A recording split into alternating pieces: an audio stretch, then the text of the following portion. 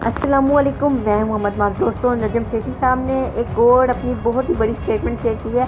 India के BCCI के मतलब इंडिया क्रिकेट बोर्ड तो उसके ऊपर एक जो स्टेटमेंट है, वो पाकिस्तान क्रिकेट फैंस के लिए बहुत ही इंपॉर्टेंट होने वाली है, क्योंकि आज के वीडियो में नजम सेठी साहब ने कह ही कुछ ऐसा कह दिया कि आप सब सुनकर हैरान हो जाएँगे और जानने से पहले चैनल से नए चैनल को सब्सक्राइब करें और बेलाइकन को आज प्रेस करें।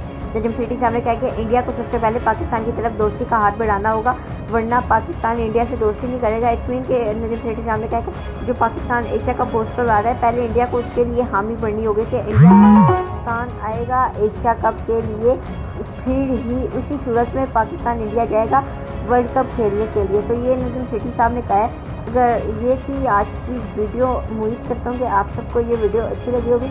और साथ ही साथ मैं आप सबको बता दूँ कि इंडिया वालों ने हामी भर भी लिया कि वो एशिया कप खेलने के लिए आएँगे नज़र सेठी साहब ने कहा कि उनको भरपूर प्रोटोकॉल दिया जाएगा। वो, उनको यहाँ पे किसी भी चीज़ की कमी नहीं होगी। हम पाकिस्तान हम लोग उनकी मेहमानों वाली बहुत ही अच्छी तरीके से करेंगे। तो लेट्स सी कि आप आगे क्या होता है।